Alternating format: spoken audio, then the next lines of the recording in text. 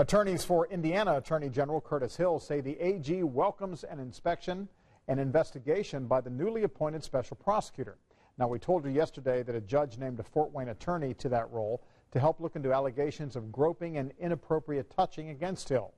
The Attorney General's counsel responded today saying they will fully cooperate, also adding that they and the AG, quote, expect that the independent and impartial nature of the special prosecutor's investigation will fully and completely address this matter in a credible and professional manner.